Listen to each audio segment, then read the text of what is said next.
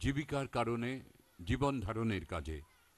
কেউ কেউ এ সমস্ত ভুলে গিয়ে সমাজ সেবাটাকেই তার জীবনের প্রথম এবং প্রধান কাজ বলে মনে করেন। মানুষের পাশে দাঁড়িয়ে মানুষকে সব রকমের সাহায্য করাই হয়ে দাঁড়ায় তার জীবনের লক্ষ্য। প্রতিদিন গড়ে প্রায় দু হাজার টাকা নানা মানুষের মধ্যে দান করেন তাদের প্রয়োজনে। এছাড়া কোথাও বিবাহ হচ্ছে জানলে সেই অনুষ্ঠানে বা অন্য কোনো শুভ অনুষ্ঠান থাকলে সেখানেও চাল, মাছ এইসব গিয়ে পৌঁছে দিয়ে আসাটা তার জীবনের একটা অভ্যেস হয়ে দাঁড়িয়েছে। এরকম একজন অদ্ভুত মানুষ যে আমাদের বিস্ময় জাগান, জনাব গফুর আলী শেখ। সমাজসেবার ক্ষেত্রে সমাজসেবা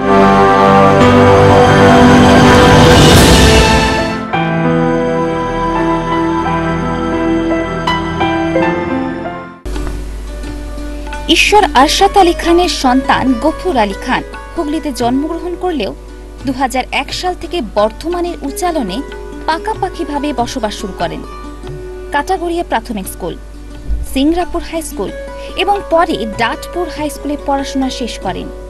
দারিদ্র্যকে খুব কাছ থেকে দেখেছেন। ক্লাস ফাইভে যখন পড়তেন তখন হ্যান্ড ট্রাক্টর চালিয়ে রাতের পর রাত ভাড়া খাটতেন এবং চাষ করতেন। তার পরিবারের মূল ব্যবসা ছিল আলুর ব্যবসা। তাই আলুর ব্যবসাতেই ব্যবসার হাতে করি। উনিশশো তিরাশি সালে লরির ব্যবসা শুরু করেন। ক্লাস সেভেনে পড়ার সময় লরির খালাসিও করেছিলেন। দু হাজার সালে বিবাহ করার পর জীবনে ঘুরে দাঁড়ালেন। দু হাজার এগারো সালে উচ্চালনে একটি মিলের ভিত্তি স্থাপন করলেন। দু হাজার তেরো সালে পশ্চিম মেদিনীপুরে একটি আলুর কোল্ড স্টোরেজেরও ভিত্তি স্থাপন করেন। এখন তিনি সমাজে প্রতিষ্ঠিত একজন ব্যক্তি। কিন্তু দারিদ্র্যকে খুব কাছে থেকে দেখেছিলেন বলে এখন ওই সমস্ত দরিদ্র মানুষগুলোর দিকে তাকালে চুপ করে বসে থাকতে পারেন না। গরিব চাষিদের চাষের জলের জন্য বিনা পয়সায় দুটি সাবমার্সেবল তৈরি করেছেন। বিভিন্ন অনুষ্ঠানে চাল, ডাল, মাছ এবং বস্ত্র দিয়ে ওই সমস্ত গরিব মানুষদের পাশে থাকার চেষ্টা করেন। এক ছেলে ও এক মেয়ে থাকা সত্ত্বেও উপার্জনের অর্ধেক টাকা গরিবদের দান করে দেন। তিনশো পঁয়ষট্টি দিন সকালে প্রথম কাজ গরিব মানুষদের মধ্যে সাধ্যমতো দশ টাকা থেকে কুড়ি টাকা পর্যন্ত দান করেন। প্রতিদিনের এই দানের পরিমাণ কমপক্ষে মোট দু হাজার টাকা। বিশিষ্ট এই সমাজসেবী গফুর আলী খানের মহৎ উদ্দেশ্যকে আমরা কুর্নিশ জানাই। আনন্দবার্তা সেরা বাঙালির সম্মান চোদ্দশো চব্বিশে তাকে সেরা বাঙালি বিশিষ্ট সমাজসেবী সম্মানে সম্মানিত করে আমরা সম্মানিত হতে চাই। বাঙালি সমাজসেবী গফুর আলী শেখ মহাশয়কে শ্রদ্ধা জ্ঞাপনের জন্য মঞ্চে আহ্বান করে নেব পরমেশ্বর মহন্ত এবং পার্থ মজুমদার মহাশয়কে।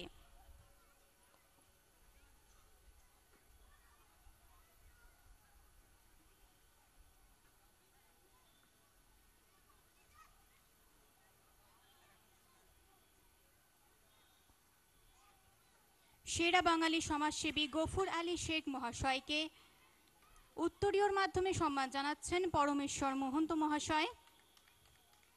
এবং পার্থ মজুমদার মহাশয়কে অনুরোধ করব পুষ্পস্তবক এবং ট্রফি তুলে দিয়ে সম্মান জানাতে। বলো কি তোমার ক্ষতি? জীবনের অথই নদী পার হয় তোমাকে ধরে দুর্বল মানুষ যদি। তার নিজের জীবিকা, নিজের পেশার পাশাপাশি একজন সমাজসেবী হিসেবে নিজেকে প্রতিষ্ঠিত করেছেন দারিদ্র্যকে নিজে প্রত্যক্ষ করেছিলেন বলে দরিদ্র মানুষের পাশে এসে দাঁড়ানোর অঙ্গীকার নিয়েছেন জনাব গফুর আলী শেখ। তাকে অনুগ্রহ করে দু একটি কথা বলতে বলব, এই সেরা বাঙালি সম্মান পাওয়ার পরবর্তী পর্যায়ে। আমার জন্ম খুব গরিব ঘরের মধ্যে জন্ম। আমি আজকে এই বড় অনুষ্ঠানে যোগ দিতে পেরে আমি এবি আনন্দকে, আমার পক্ষ থেকে আন্তরিক অভিনন্দন শুভেচ্ছা ভালোবাসা জানাই এবং উপস্থিত দর্শকবৃন্দকে আমার আন্তরিক অভিনন্দন জানিয়ে আমার এই ক্ষুদ্র বক্তব্য শেষ করছি। অসংখ্য ধন্যবাদ। যেভাবে উনি মানুষের পাশে এসে দাঁড়ান তার থেকে অনুপ্রেরণা নিয়ে তাকে দৃষ্টান্ত হিসেবে মনে করে আমরাও সকলে যদি একটু মানুষের পাশে দাঁড়ানোর অঙ্গীকার নিই। মনে হয় সমাজটা সত্যি খুব সুন্দর হয়ে উঠবে। যেটা ছাড়া আমরা জীবনের আলো দেখার কথা ভাবতেই পারি না। শুধু সুইচ টিপলাম, আলো জ্বলল তা নয়, প্রকৃত জ্ঞানের আলো আমরা পাই শিক্ষার মধ্যে দিয়ে।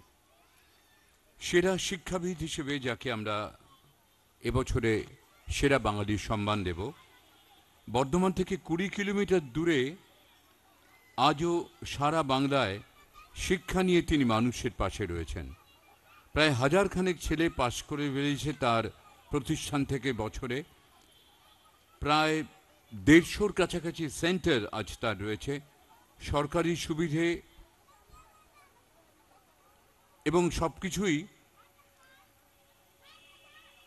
এটা এসপিবি গ্রুপের হাতে চলে আসে এবং তার জীবনের লক্ষ্য একটি ক্যান্সার হসপিটাল তৈরি করা, একজন শিক্ষাবিদ হিসেবে নিজের সারাটা জীবন উৎসর্গ করার পরেও। আমরা মঞ্চে ডেকে নেব শ্রদ্ধেয় শ্রী সুব্রত ভট্টাচার্যকে।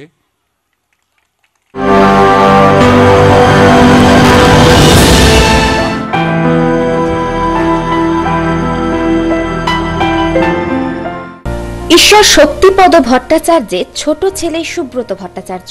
সুব্রত বাবুর বাবা ও দাদা স্কুলের হেডমাস্টার। বাড়িতে ছিল একটা পড়াশোনার পরিবেশ। শক্তিপদ বাবুর ইচ্ছা ছিল সারা বাংলা জুড়ে শিক্ষার একটা পরিবেশ গড়ে তোলা, যেখানে ছেলেমেয়েরা কিছু শিখবে ও চাকরি পাবে। উনিশশো ষাট সালে এই ধরনের চিন্তা ভাবনা শুরু করেন তিনি। ষোলোই ফেব্রুয়ারি উনিশশো সত্তর সালে সুব্রতবাবু জন্মগ্রহণ করেন। সুব্রত বাবুর বয়স যখন চোদ্দ, তখন মারা যান শক্তিপদবাবু। মায়ের আঁচলের আড়ালেই বেড়ে ওঠেন তিনি। বাবার ইচ্ছাকে মান্যতা দেওয়ার জন্য পড়াশোনার পাশাপাশি শুরু করেন ব্যবসাও। জীবন শুরু করেন শূন্য থেকে। বুলা দেবীকে বিবাহ করে সংসারীও হন তিনি। জীবনে থেমে থাকেননি কোনো দিন তারপর মা অঞ্জলি দেবীকেও হারান। বাবা ও মা উভয়ই ক্যান্সারে মারা যান। বাবার নামে শুরু করেন এসপিবি টেকনিক্যাল ইনস্টিটিউট আর মায়ের নামে ব্যান্ডেলে এবি টেকনিক্যাল ইনস্টিটিউট। তারপর একের পর এক এসএনপি বিএনবি ইনস্টিটিউট সহ বাংলা জুড়ে এসপিবির পঞ্চাশেরও বেশি শাখা। সকাল নটায় ওঠেন এবং রাত্রি আড়াইটায় শুতে যান। সারাটা দিন অফিসে কাটে ওনার ডিজিটাল ইন্ডিয়ার কাজ এসপিবির হাত দিয়েই প্রথম শুরু হয়। এত ব্যস্ততার মধ্যেও blood donation camp, health camp, গরিবের বস্ত্রদান বছরে তিনবার। আর গরিব মেয়েদের বিবাহ সহ বিরাট ধুমধামের সাথে করেন লক্ষ্মী পুজো, যা এলাকায় ভট্টাচার্য বাড়ির পুজো বলে পরিচিত। সারা দিনে দশ বার চা খান। কালো জামা প্যান্ট পরতে ভালোবাসেন।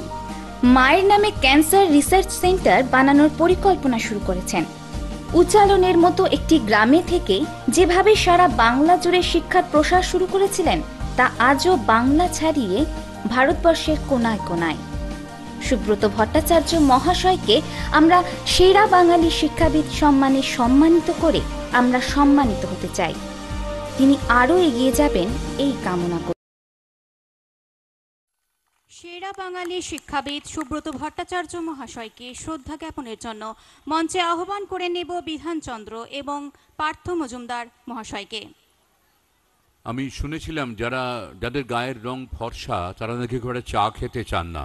সুব্রতবাবুকে দেখে আমার সেই ভুল ভাঙল। যেমনি সুদর্শন, তেমনি চাও করেন ভক্ষণ। ভক্ষণ নয়, পান।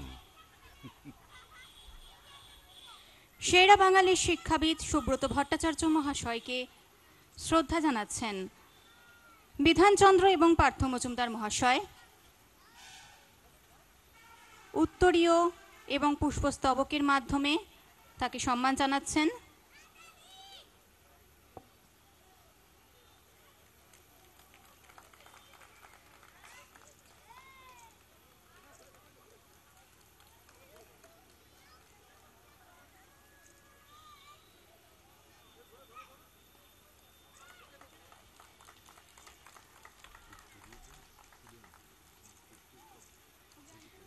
সুব্রতবাবু এই সম্মান পেয়ে আপনার কেমন লাগছে? আমাদেরকে যদি একটু জানান। দেখুন সম্মান পেতে কার না ভালো লাগে? সব থেকে ভালো লাগছে যে এবি বার্তা আমাকে যে সম্মানে সম্মানিত সম্মানিত করলেন, আমি চেষ্টা করব যে এই সম্মান তাদের কাছে রাখতে এবং আপামর জনগণের কাছে তুলে ধরতে। এইভাবে এগিয়ে যাক, প্রতি বছর যেন এই অনুষ্ঠানটা থাকে।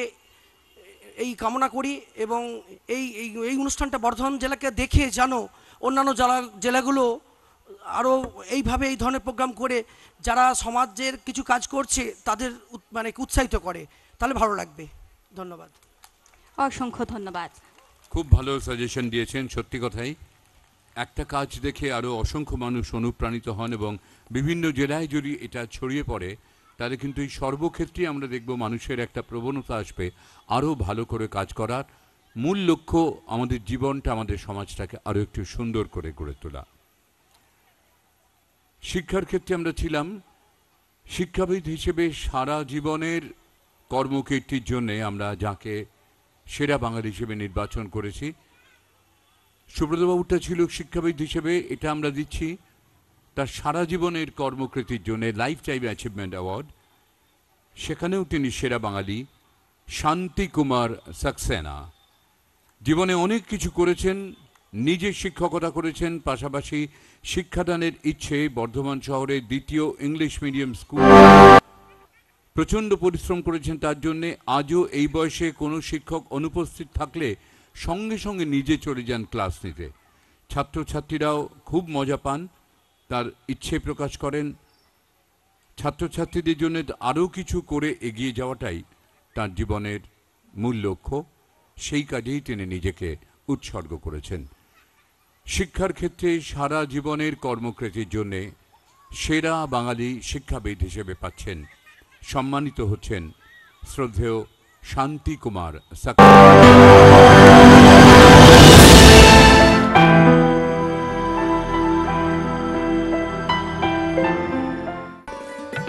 উনিশশো সালের পয়লা জানুয়ারি সাক্সেনা পরিবারে জন্মগ্রহণ করেন শান্তিকুমার সাক্সেনা। মুরাদাবাদে প্রথম স্কুল জীবন শুরু। তারপর বেনারসে কুইন্স কলেজ। বেনারস বিশ্ববিদ্যালয় এবং পরে হায়দ্রাবাদ, ওসমানিয়া থেকে এমএ পাশ করেন। পাশ করে ঠিক করেন চায়না যাবেন, কিন্তু ভিসা পাসপোর্ট না থাকায় বর্ডার থেকে ফেরত পাঠিয়ে দেন। সেখান থেকে শিলংয়ে আসেন। সেন্ট মেরিট স্কুলে চাকরির জন্য ইন্টারভিউ দিয়ে চোদ্দ জনের মধ্যে সিলেক্ট হন এবং চাকরিতে জয়েন করেন। দুই বছর চাকরি করার পর বোনের বিয়ের জন্য ফিরে আসেন। তারপর লখনৌতে গুরু নানক স্কুলে প্রিন্সিপালের পদে জয়েন করেন। এক বছর করার পর আসামে বন্ধুর ডাকে টি গার্ডেনের সিনিয়র ইলেকট্রিক্যাল অ্যাসিস্ট্যান্টে জয়েন করেন। উনিশশো বাষট্টি সালে মডার্ন ইংলিশ স্কুলে জয়েন করেন। উনিশশো সাতষট্টি সালে ছেড়ে দেন। সাতষট্টি সাল থেকে বাড়িতে স্পোকেন ইংলিশ আইসিডব্লিউবিএসসির কোচিং দিতেন। উনিশশো উনসত্তর সালে অপরাজিতা চ্যাটার্জিকে বিবাহ করেন। তারপর শাঁখারিপুকুরে বিরাশি সালে তৈরি করলেন হলি রক স্কুল।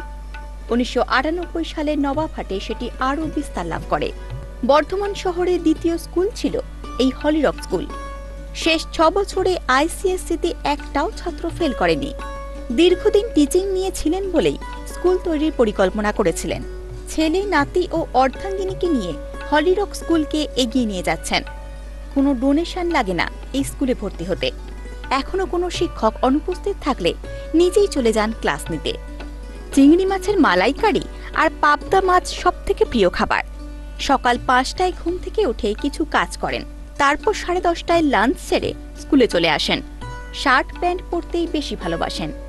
শেষ দিন পর্যন্ত স্কুলে আসতে চান। পাশাপাশি স্কুলকে বাড়িয়ে নিয়ে যাওয়াই মূল লক্ষ্য। মহান এই ব্যক্তিকে আনন্দ বার্তা সেরা বাঙালি সম্মান, চোদ্দশো চব্বিশের সেরা বাঙালি শিক্ষাবিদ লাইফ টাইম অ্যাচিভমেন্ট সম্মানে সম্মানিত করে আমরা সম্মানিত সেরা বাঙালি lifetime achievement Shantikumar Saxena মহাশয়কে শ্রদ্ধা জ্ঞাপনের জন্য মঞ্চে আহ্বান জানাব রাজীব মণ্ডল এবং পার্থ মজুমদার মহাশয়কে।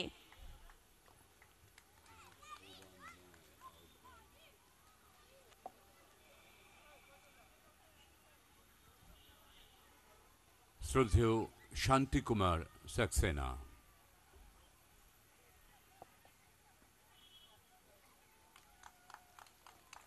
সম্মান মনে প্রাণে জানাচ্ছেন জড়িয়ে আছেন শিক্ষার সঙ্গে। সম্মান জানাচ্ছেন রাজীব মণ্ডল এবং পার্থ মজুমদার মহাশয়।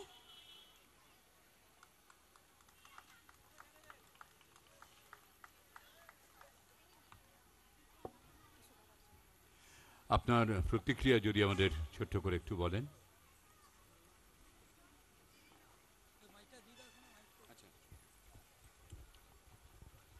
আমি দিল্লির ছেলে, আমি কোনোদিন কল্পনাও করতে পারিনি যে আমি বেঙ্গলে থাকব। জীবনটা আমার টিচিং লাইফটা স্টার্ট করেছি সেন্ট মেরিজ স্কুল শিলং থেকে। তারপর কলকাতায় এলাম। কলকাতা থেকে বর্ধমানে এসে এখানে শিক্ষা জগতে জড়িয়ে পড়লাম। আমার কিন্তু আনন্দ লাগছে যে আমি সেটেল দিল্লি যাইও নেই বর্ধমানে সেটেল হয়ে গেছি, এটাই আমার বাড়ি।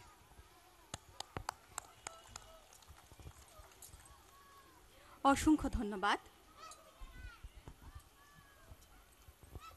বর্ধমানবাসীরা নিশ্চয়ই গর্ব অনুভব করবেন। Born at Delhi study started at Shillong তারপর বর্ধমান, এখানেই তার জীবনের সব কিছু বর্ধমানকেই তিনি নিজের বাড়ি বলে কোনো দিন ভাবতে পারেননি আগে, কিন্তু এখন সেটা ভাবতে তিনি গর্ব অনুভব করেন। আমাদের সম্মান জানানো, আপাতত আমরা একটুখানি বিরতি দিই অন্য আমরা কিছু অনুষ্ঠান আমাদের রয়েছে আমরা সেই পর্বে চলে যাব। সুদীপ্ত আপনাদের সেই নিয়ে বলবে। তারপরে আবারও আমরা পরবর্তী পর্বের সেরা বাঙালি সম্মানে সম্মানিত করব।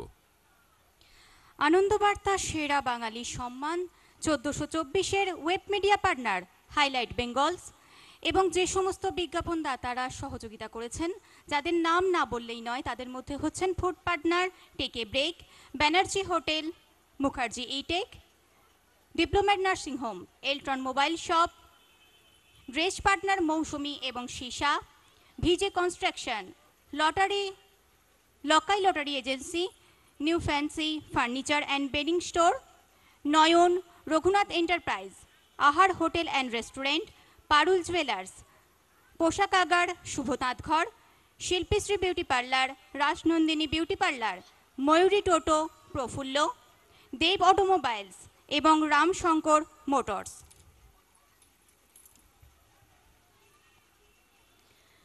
এরপরে আমরা দেখে নেব নৃত্য। আপনাদের সামনে আসছে স্ফুরণ নৃত্য বিকাশ কেন্দ্র তাদের নৃত্যের ধারা নিয়ে। চলুন আমরা চলে যাই স্ফুরণ নৃত্য বিকাশ কেন্দ্রের নৃত্যে।